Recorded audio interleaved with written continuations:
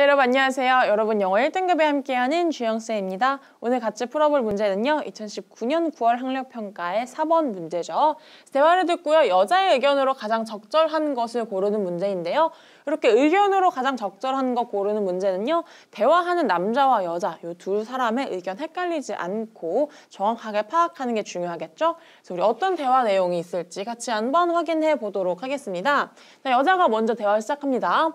Justin, how's your speech coming along? 저스틴 너 있잖아 다가오는 요 스피치 대회 어떻게 준비 잘 하고 있니? 라고 물어봅니다. I don't think it's going so well, Miss Jones. 제가 생각할 때는요, 그냥 잘 되어가는 것 같지는 않아요, Miss Jones 선생님. What's wrong? 뭐가 문제인데? I know you have been working really hard.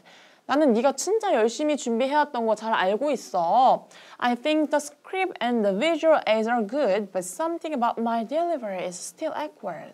제가 생각할 때는요, 원고나 이제 시각적인 자료는 굉장히 좋아요. 그런데 제가 전달하는 것이 여전히 문제가 좀 있어 보여요. Have you considered recording a video of yourself practicing your speech? 너 그러면 네가 스피치 하는 동안 연습하는 동안 네 자신을 직접 비디오로 찍어본 적이 있니? 라고 하죠. No, I haven't. Why? 아니요, 해본 적 없죠. 왜요? Seeing how you deliver your speech can help you correct your weak points. 자, 네가 직접 말할 때 이렇게 보는 것이 너의 약점들을 고치는데 굉장히 큰 도움이 될 거야 라고 이제 여자의 의견이 나오기 시작하네요. How can it help? 그게 어떻게 도움이 되는데요?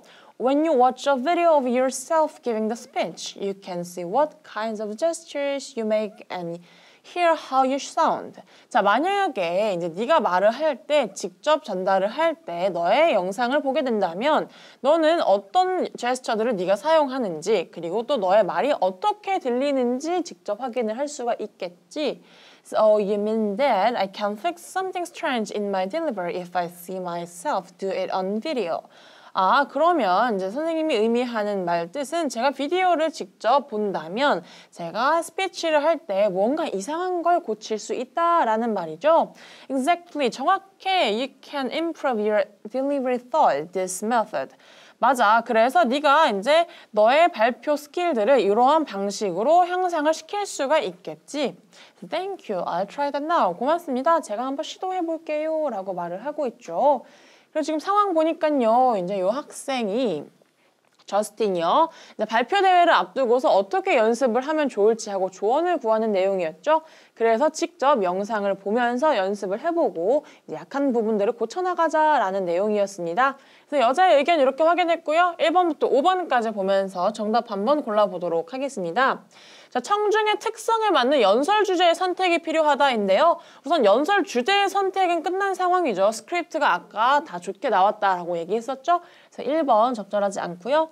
시각 자료의 활용은 청중의 집중을 유도할 수 있다라는 거 물론 시각 자료에 대한 내용 나오긴 했지만요. 잘했다라고 했고요. 3번입니다. 연설자의 목소리 톤은 연설의 내용에 따라 달라야 한다. 자, 연설의 내용에 따라 달라야 한다라는 말 물론 맞을 수도 있겠지만요. 여기서 나오지 않은 내용이고요. 대본을 보지 않고 연설하는 것은 설득력을 높일 수 있다. 마찬가지로 나오지 않은 내용입니다.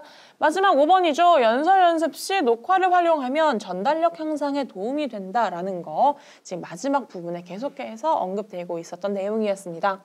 그래서 이번 여자의 의견으로 가장 적절한 것은 답 5번으로 확인을 할 수 있었고요. 여러분들 스크립트 이렇게 같이 보고 이제 상황 파악하고 여자의 의견까지 골라봤는데요. 실제로 여러분들이 직접 들어보시면서 이렇게 의견이 파악이 되는지 꼭 연습을 해보셔야 합니다. 뒤에 나오는 음원 들어보시면서요. 여러분들 연습하는 시간 가져보도록 하겠습니다. Justin, how's your speech coming along? I don't think it's going so well, Miss Jones. What's wrong? I know you've been working really hard. I think the script and the visual aids are good, but something about my delivery is still awkward. Have you considered recording a video of yourself practicing your speech? No, I haven't. Why? Seeing how you deliver your speech can help you correct your weak points. How can it help? When you watch a video of yourself giving the speech, you can see what kinds of gestures you make and hear how you sound. Oh, you mean that I can fix something strange in my delivery if I see myself do it on video? Exactly. You can improve your delivery through this method. Thank you. I'll try that now.